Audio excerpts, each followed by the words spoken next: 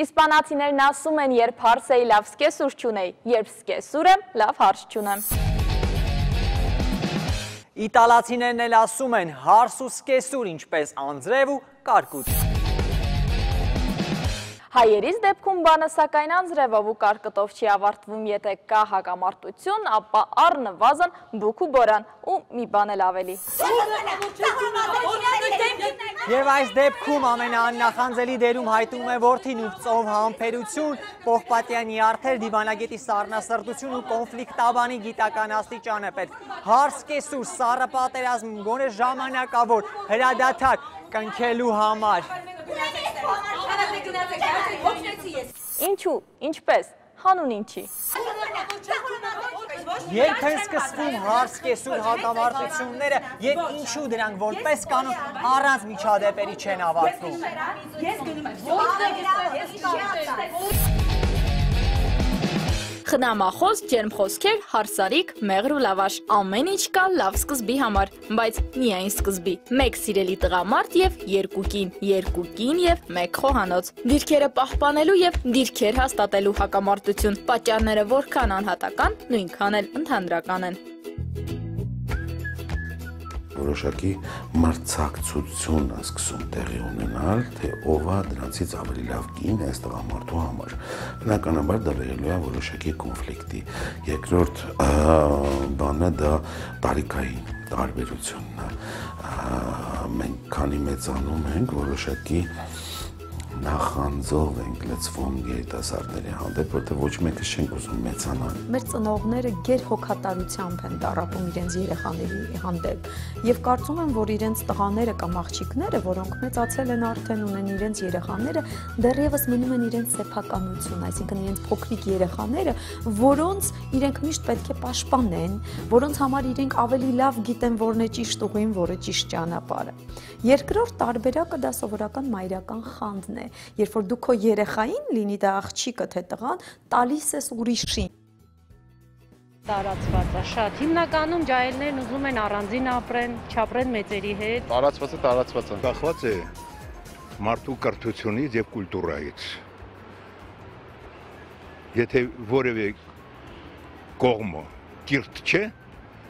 անախորժությունները անխուսափելի են։ Երկու տարբեր ընտանիքներ, որ աղջիկ գալիս է ուրիշի տուն, բարձ է, շատ դժվար կլինի իր համար, իսկ թվում է կախված է սկեսուր մայրիկից ինքը պետք է ընթառաջի օգնի հարցիկին, որպեսզի հարմարվի իրանց ընտանիքի։ Ջահել իր տեղը պետք է իմանա, մեծն էլ իր տեղը։ Ջահելը ջահել մենակ առանցին ապրենք, մեծերը առանցին էլ իրար հետ ինձ թվում է մեծից է գալիս։ Եթե մեծը ներող լինի, ջահելն էլ կհասկանա ու կների։ Գրեթե բոլոր սկեսուրների կարծիքով իրենք ամեն ինչ ավելի լավ գիտեն, ավելի լավ են հասկանում եւ ավելի լավ անում։ Իսկ իրենց ворթին իհարկե շատ ավելի լավին էր արժանի եւ առհասարակ հարսի լավը չի լինում։ Նույն կարծիքին են նաեւ հարսների մեծամասնությունը, այս մասին խոստովանում են նաեւ տղամարդիկ, բայց բայց տեսախցիկից այն կողմ։ Իս տղամարդն այդ հակամարտության ոչ միայն թիրախն է, այլև ամենաշատ ուժողը։ Նա գլխավոր դերում է միևնույն ժամանակ դիտորդի կարգավիճակում տղամարդը բարկանում, հա տղամարդը դառնում է անհաջողակ, ինքը սկսում է տնից խուսափելու։ Երկուսն էլ թքած ունեն դրա վրա, իրանք սկսում են իրար հետ կոնֆլիկտը շարունակել։ Շատ հաճախ տղամարդկանց թուլությունն է այստեղ դրսևորվում, որովհետև ընտանիքում, եթե տղամարդը ճիշտ է տեղաբաշխում դերերը, հարսի, սկիսուրի, այսինքն սեփական կնոջ, սեփական ծնողների, եւ նրանք յուրաքանչյուրը հստակ գիտեն իրենց դերերը, իրենց պարտականությունները եւ գիտեն ճիշտ ելքերը կոնֆլիկտից դուրս գալու, ապա կոնֆլիկտներից կարելի է խուսափել։ Հիմնական կամուրջը տղամարդն է, տղան է։ Եթե նա եւ կնոջ տեղը տեսավ եւ մորը հազիվ թե անախորժություն լինի։ Եթե տղան մի քիչ լավ իրեն դրսևորի, ոչ մայրը, ոչ հարսը, ոչ չեն կարող վատ հարաբերությունների մեջ լինել։ Եթե ամուսինը, չգիտեմ, իր տեղում լինի, հաստատ կինը չի կարող, չգիտեմ, մոր հետ շատ խնդիրներ ունի։ Կա խոսակցություններ իհարկե կլինեն, բայց ոչ այն աստիճանի, որ տունը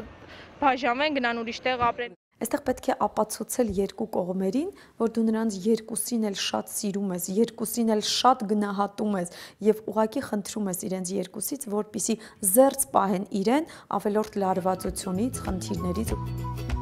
Ու թեպետ այսօր թվում է, թե ավելի առաջադեմ են ժամանակները, ավելի քաղաքակիրթ են մարդիկ ու հարաբերությունները, բայց արի ու տես 50 տարի առաջ ու այսօր այս հակամարտության մեջ ոչինչ չի փոխվել։ Ենթադրենք 10 դեպքից 5-6-ը այսպես հնարավոր, այսինքն պոտենցիալ ամուսնալուծության դեպքեր են։ Այդ պատճառը ինքը բավականին տարածված է, երբ որ միասին են ապրում եւ և վեճերի որոշակի վեճերի առիթ է հանդիսանում այդ միասնական մի տանիքի տակ ապրելու այդ հանգամանքը։ Ու թեպետ այդ հակամարտությունը ինչպես փաստում են խնդրի հետ առնչություն ունեցող մարդիկ ավելի շատ գյուղերում է, քան քաղաքներում, բայց այդ հակամարտության արդյունքում ամուսնալուծությունների թիվը ավելի շատ քաղաքներում է։ Գյուղերում կա ինֆորմացիայի պակաս։ Գյուղերում դեռևս ավելի հին, այսպես ասած, ավանդական հարաբերությունները ընտանիքում դեռևս փորձում են պահպանել Երևան քաղաքում շատ ավելի տարածված է մի պարզ պատճառով, որ գյուղերում պարզապես ամաչում են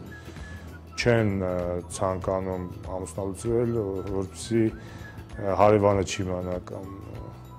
բարեկամը չիմանա, իսկ քաղաքում շատ ավելի ազատ են այդ ընտրության առաջ ավելի ազատ են ժամանակի ես նմանատիպ սոցիալ-հոգեբանական տրեյնինգներ էինք անցկացնում հենց մարզերում եւ ինչն է շատ հետաքրքիր որ մարզերում շատ ավելի ավելին էր անբավարարվածությունը եւ խնդիրներն ու կոնֆլիկտները հարս կեսուր փոխհարաբերություններում քան Երևա, Երևանաբնակ երիտասարդ զույգերի մոտ ինչի որովհետեւ երբ որ արտակինից կոնֆլիկտը արտահայտված չէ դա չի խոսում դրա բացակայության մասին։ Ընթակառակ, դա խոսում է նրա մասին, որ կոնֆլիկտը սկողված է, թաքնված է, բայց այն խորանում, տարածվում է եւ շարունակում է իր լուրջ, այսպես ասած, հետքերը թողել անձերի վրա։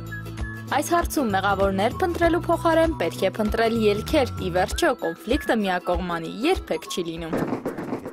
երկուսն էլ իրենց պարագայում կարող են հստակորեն մեզ ապացուցել, որ իրենք ճիշտ են։ Հասկանում եք, այստեղ միանշանակ ճշմարտության երևույթ չի կարող լինել։ Կա մի շատ կարևոր եւ ոսկե կանոն, դա փողզիջումն է, կոմպրոմիսի գալ։ Սա պետք է լինի երկկողմանի, միակողմանի փողզիջում չի լինում։ Ամենա լավ տարբերակը առանձին ապրելը։ Կարևոր չի հարսու կիսուր։ Ես մամայիս հետ էլ նույն խնդրեմը կունենամ, ոնց որ կունենամ կիսուրի տարիքը։ Ես իմ ձևով եմ մտածում, հարսը իր ձևով է մտածում։ Եթե կինը հարգիր ամուսնուն, հաստատ ամուսնու մայրիկին է կհարգի, կսիրի, կընդունի որպես իրար մայրիկ։ 100 տարի առաջ, 3 եւ այսօր ժամանակները փոխվել են, բայց անփոփոխ են մնացել շան ու կատվի, կատվի եւ մկան, հարսի ու սկեսրոջ հարատև կոնֆլիկտները։ Եվ այն տարածված հումորը, որ հարս ու սկեսուր միայն լուսանկարում կարող են իրար հետ հաշ լինել, ոչ այնքան ծիծաղելի է, որքան մտահոգիչ։ Արևելյան ասացվածքն ասում է դրախտում դեռ երկու աթոռ դատարկ է, մեկը լավ հարսի, մյուսը լավ սկեսրոջ համար։ Այնպես որ շտապեք գուցե այդ աթոռները հենց ձեզ համար են նախատեսված։